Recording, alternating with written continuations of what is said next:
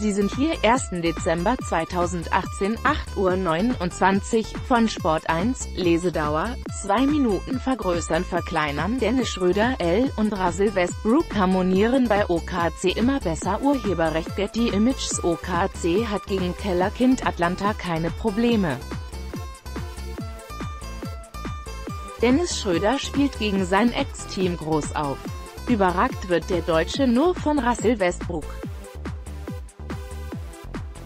Der deutsche Basketballnationalspieler Dennis Schröder hat mit Oklahoma City Thunder in der NBA gegen sein Ex-Team den nächsten Sieg eingefahren. Der Champion von 1979 gewann gegen die Atlanta Hawks 124 zu 109 und unterstrich mit dem 14. Saisonsieg seine gute Form.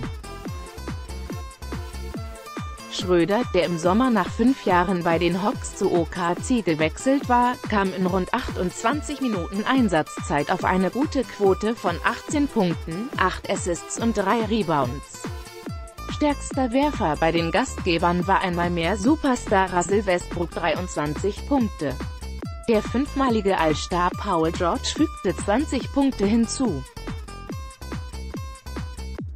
Anzeige, jetzt die neuesten NBA-Fanartikel kaufen, hier geht es zum Schub nach einem ausgeglichenen ersten Viertel übernahmen die Thunder allmählich die Kontrolle über die Partie. Ein furioses zweites Viertel, das mit 38 zu 20 an OKC ging, war bereits die Vorentscheidung. Schröder und Co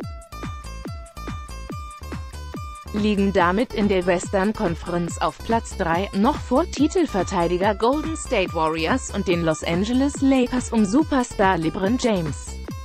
Zur Tabelle der NBA-Anzeige, die NBA live bei DAZN, jetzt gratis monatssichern Atlanta ist mit nur 5 Siegen bei 18 Niederlagen das drittschlechteste Team der gesamten Liga. Sport 1 ist die Nummer eine Plattform, wenn es um Live-Sport geht. Livestreams, Live-Dicker und aktuelle Berichterstattung aus allen Bär. Mehr